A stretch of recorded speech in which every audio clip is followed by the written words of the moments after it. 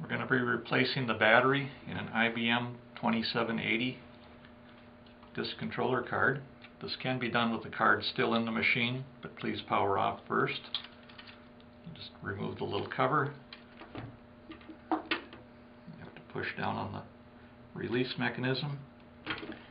Battery will come loose. It slides out. Take your new battery, plug it in. Sure it's plugged in good and tight.